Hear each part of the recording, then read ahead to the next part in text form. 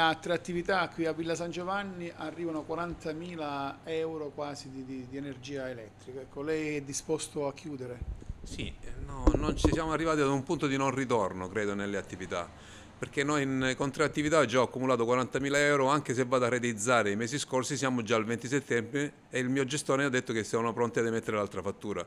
Quindi io ho 15 dipendenti, nel complesso devo mandare tutte le persone a casa, perché non si riesce, anche volendo, a poter pagare in, in nessun modo. Quindi è un punto di non ritorno, perché è un cane che si morde la coda se andate in banca eh, cosa fa andate a realizzare che cosa? Gli, al gestore vengono a tagliarvi la luce perché la mattina vengono a tagliarvi la luce e quindi di conseguenza prima che il giorno che loro verranno a tagliare la luce io mando i dipendenti a casa e vado a trovarmi occupazione. Vado a prendere il reddito di cittadinanza perché mi confronto con le persone perché vedo che un marocchino che di fronte a me guadagna più di me senza battere uno scontrino. Quindi io sono costretto a tenere dipendenti, a gestire ogni giorno dei controlli che siamo peggio dei laboratori dalla mattina alla sera, quindi siamo arrivati ad un punto, non si trova personale. E poi confrontarmi con, questo, con il costo della vita, quanto si deve vendere un chilo di pane, quanto si deve vendere. Quindi non c'è la possibilità di poter più andare avanti, è un punto di non ritorno e purtroppo si arriverà alla rivoluzione civile, perché io penso che si arriverà alla rivoluzione civile. Le persone non possono più affrontare la mattina le spese, il costo dell'energia, la vita già è diventata in sé per sé tutto già difficile, quindi aumenta le, materie prime, la farina noi è già arrivata a, prezzi assurdi, da 40 centesimi che pagavamo la farina quasi è arrivata a 1,20 la farina di semola quindi quanto, quanto, quanto deve essere questo costo di produzione che ci incide? Quindi questa è stata la mazzata. Io penso che i, quei quattro soldi che ci hanno dati col Covid, loro li, li vogliono tutti indietro con gli interessi e quindi sarà peggio di un'epidemia, peggio di una bomba atomica, perché ogni giorno sarà il crollo di un mito, perché noi siamo, uno, mi sento uno della storia, perché da 35 anni che sono sul mercato ho pagato sempre tutti, ho pagato sempre i miei debiti, non, non, ho mai fatto delle cattive figure, però adesso siamo un pochettino stanchi.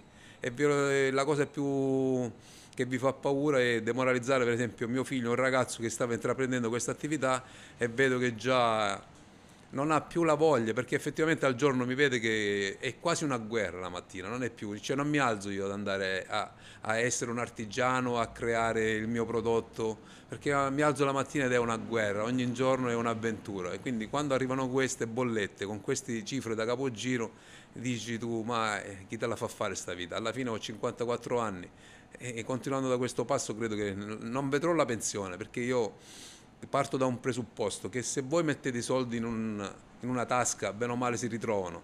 Quindi lo Stato deve capire che se noi versiamo i contributi, le partite IVA, e allora prima o poi le, le, pensioni li pagano, ma prima o poi andrà tutto in check out così, perché se noi non paghiamo tutto, tutto, prima o poi tutto andrà a finire, quindi crollerà tutto, per forza deve crollare, perché è un castello che crolla. Non possono loro avere le pensioni da 40-50 mila euro adesso in tasca, sono tranquilli adesso, ma prima o poi succederà questo, perché non ci sono le condizioni, perché è come un portamonete, se voi mettete là dentro, tutti prendiamo, prendiamo, prima o poi tutto andrà a rotolo. Ecco Maria, Maria Doni, siamo con te tutti i lotti per, per i negozianti, ecco, fai parte sì. dell'associazione qua di Villa San Giovanni. Ecco. No, Oltre al signore che abbiamo qui ai nostri microfoni ci sono altre attività. Sì allora, che chiuderanno, chiuderanno battenti. Noi abbiamo un comitato che è il comitato del commercio villese che si è formato circa quattro anni fa e abbiamo iniziato con um, un paio di attività, adesso quasi siamo 100 e bene o male le difficoltà sono tutte uguali.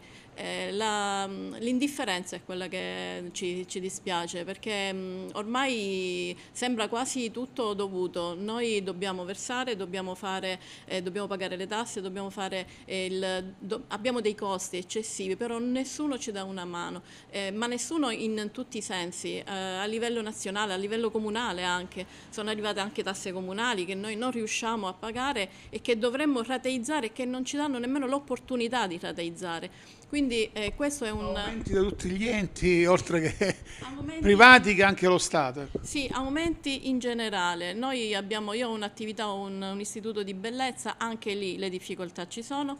Perché è tutto un susseguirsi. Eh, se la persona non, eh, non, riesce a lavorare automaticamente, come ha detto Lillo, devi licenziare, quella persona che licenzi non, non avrà niente da, eh, cioè non avrà i suoi soldi a disposizione per poter eh, fare economia, ecco come voglio dire io.